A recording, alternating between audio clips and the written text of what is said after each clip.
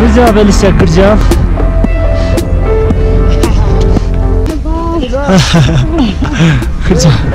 Good Thank you so much.